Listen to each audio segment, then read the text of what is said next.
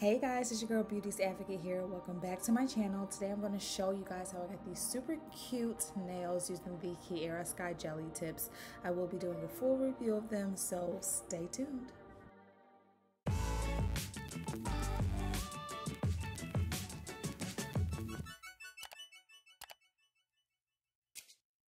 Okay, so first things first, I did buy the full starter kit, which comes with a mini LED lamp, the almond tips in the size medium, as well as the prep primer, builder gel, um, or whatever you want to call it, and the top coat. So I actually did a full video on how I prep my cuticle, which I will link in the description below.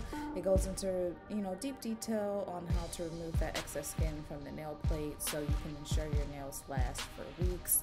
I had these particular nails on for about three weeks and I had absolutely no lifting. I took them off simply because I was ready for something new. Um, but this is my tried and true way to prep. I've done it with the Kiara Sky Tips, the Apres Gel X, and even some generic ones I've purchased off of Amazon. So now I'm just going in and I'm finding the sizes that fit my nails. To be honest, this is like the first negative thing I'll say about this kit.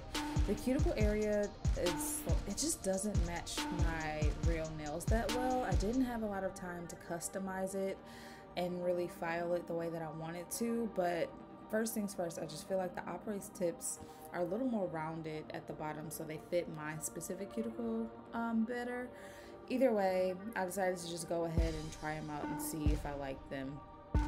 So to prep the full cover nail extension, I'm just going in with a small diamond ball bit and I'm etching the inside. Then I take the tip, put it on my nail, make sure the edge part covers the entire nail plate. If it doesn't, then I just go up a little higher with where I etched.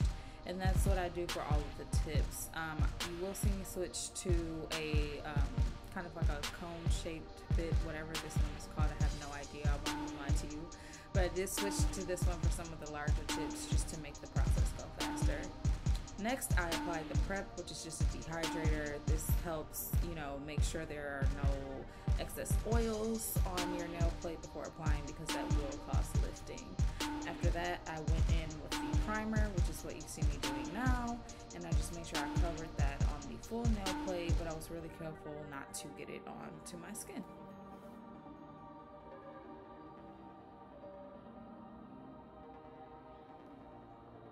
Now after this, I did try two different application methods. The first is the way that the directions tell you, which is to apply a thin coat of the builder gel onto your natural nails first and then cure it.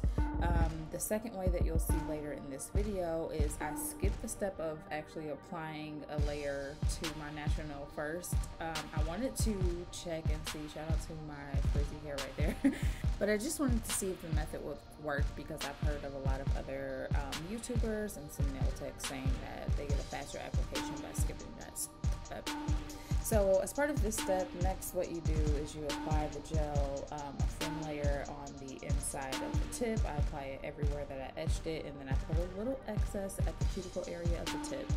Now when I apply these, I start applying pressure from the back of the nail and I kind of like just tip it forward and try to move the gel throughout the nail. Now I definitely screwed up the first time. Do you see that? This gel is a lot different than the Apres Extend gel. I would number one say that it is thinner, so it has a thinner viscosity. And I just noticed like on a lot of my nails I had to like take it off and reapply it, take it off and reapply it because I kept getting air bubbles. Um, it was actually super, super annoying.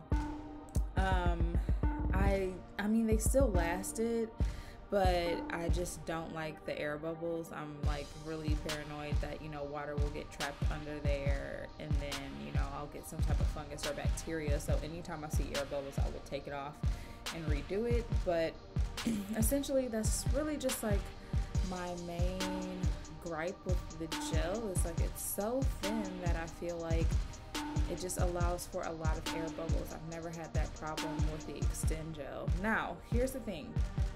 The Extend gel contains some different type of chemicals and I've definitely felt like I may be starting to develop an allergic reaction to it. So I'm not saying don't use Kiara Sky. I'm not saying that at all. Like I said, it worked. It's just I have to get used to the way that I need to apply these because it does call for a different method than the apres set.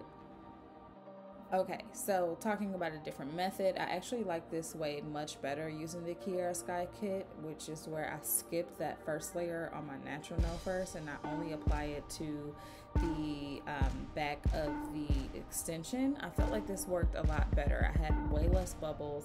I mean, it could also be because of the fact that um, I'm right hand dominant, but I honestly think it may have been from skipping that. For some reason, the gel just was spreading much more like easily and it just kind of flowed to the free edge a lot better without like spilling over too much. Now let's talk about this light. Do you see how hard it is kind of for me to get my fingers in the light? Like I actually thought I was going to love this light and I kind of hated. I missed my method of like when I um, have like the nail polish holder with the rechargeable flashlight. It has so much space underneath it that like I can ball up my fingers and like fit my whole like hand under there. With this, you can really kind of only fit one finger and you have to make sure the rest of your fingers are flat. So I didn't really like that part about it.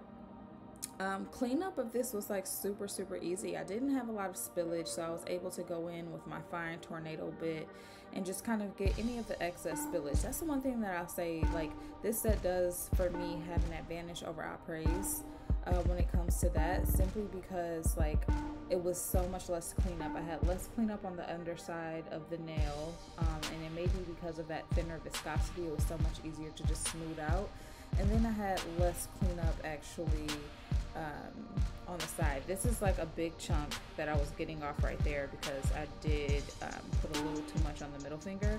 But I mean, cleaning up these nails was actually pretty cool. The one thing that I will say is like usually I can use a fine bit and kind of go over the nail like that and like buff off the um, the shiny layer. I could not do that with these nails. They are a little more brittle in my opinion. Um, and I started to get kind of like lines. So then I just switched back to my hand file and started to take off the shiny layer. Um, the E-file was just way too strong, even on the lowest setting. And while I'm painting my nails, um, I just want to tell you guys kind of about the cuticle area on these tips a little more. I know I talked about the shape of them earlier, but I also want to touch on the thickness. I feel like the cuticle area on these tips are definitely thicker than the apres, and depending on who you are, this may be a good or bad thing. For me, it's a bad thing because I need the cuticle area to kind of be as thin as possible and it did cause for a lot more like e-filing around the cuticle area to try to get it flush um, with my nail. Now on the apres, um, it's super simple. I can just go in with the diamond ball bit and it pretty much just comes um, comes off and just is flush with the cuticle with these. I should have filed them down with a hand file before I applied them. I didn't realize how thick it was going to be when I finally got them on. Either way, I love the way that these turned out. I'll definitely continue to use these tips. Um, I'm not sure if I would ever purchase them again, though, if I'm being 100% honest and transparent. And the reason why I say that is because there's just so much customizing that has to happen at the cuticle area for me that it just added so much more time onto what it would take to do these nails. I still did this set in about like I think it took an hour and 15 minutes, which isn't that bad, but I can guarantee you if I didn't have to do all of that custom filing around the cuticle area, I probably could have got the gotten these on and painted um, within like an hour. Um, and you may say like, oh, it's only 15 minutes, but it's 15 minutes that I could have saved myself. um, so now I'm just going in. These are some Model Ones polishes. I will link them in the description below. I got them in a set. Um, I actually hate these, just a FYI. Some of them are like the perfect viscosity and they go on really smooth. These two particular colors, it was coming out lumpy the more layers that I did, so it was kind of annoying. Um, so I wouldn't uh, purchase the Modelones again. I think I'm really falling in love with iGel Beauty. Um, so I'm probably going to stock on, on some polishes from them. But either way, um, I painted all of my nails kind of like that nice um, springy peachy color, which I feel like is perfect for this time of the year. And then on the um, the white nail, I'm just going to sprinkle some um, pixie crystals on top. Um, just like so. This is actually my first time using pixie crystals. I would say if you're going to use them, you should probably use like some type of like rhinestone gel or something to apply it because they did come off within a week. But these are like super cute. Um, I've kind of been into like the more simple nail looks, maybe like one decorated nail, the rest kind of plain. Um, but yeah. Now, for my final thoughts, I do feel like this is a decent um, kit. I think that you know you get um, a good amount of bang for your buck. I do like the prep. I like the primer. I um, am getting used to the builder gel. Like I said, I've never had an allergic reaction to it, which is great. So that is definitely a plus for me. I'm not in love with the light or the tips. The tips, I feel like they're sturdy and they're fine. They just didn't necessarily fit my cuticle the best. I think if you have more square cuticles, these will probably be perfect. But if your cuticles are more rounded like mine, you know, you may have the same issue that I had as far as customizing that area. I do want to thank you guys so much for watching and tuning in. If you have any questions, please drop it in the comments below. And peace.